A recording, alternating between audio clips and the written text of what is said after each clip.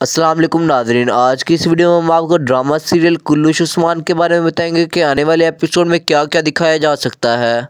उस्ताद आरियोस उस्मान बे के लिए कौन सा जाल बिछाएगा और ये भी कि उस्मान बे उस जाल से कैसे बच निकलेंगे? और सबसे आखिर में ये कि बारकन बे का क्या मंसूबा है?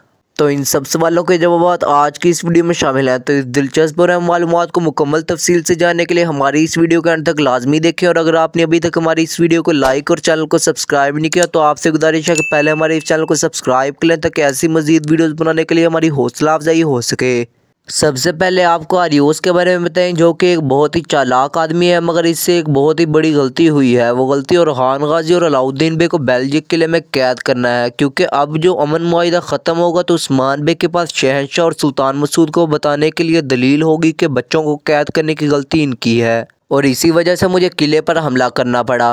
अब अगर बारकन बे के बारे में बात की है तो गुजशत किस्त में इसने सेलवे खातून और जिरगे में बुलाए हुए सरदारों को उस्मान बे की मुखालफत करने का कहा। आपको ये बता दें कि बारकनबे अपनी जल्दबाजी की वजह से ही जल्द ही पकड़ा जाएगा।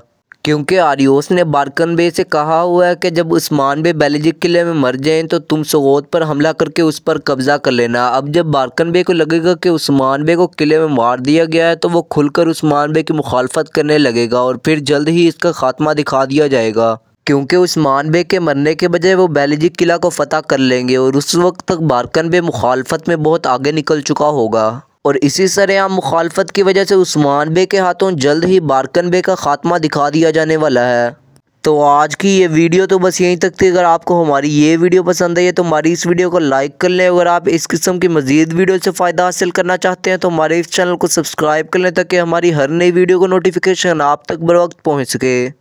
और अगर इस सारी वीडियो के बारे में आपका कोई भी सवाल ले रहे हैं तो इसका इजहार हमारे साथ कमेंट सेक्शन में ज़रूर कीजिएगा। हम अपनी अगली आने वाली वीडियो में आपको उस सवाल का जवाब ज़रूर देंगे। शुक्रिया।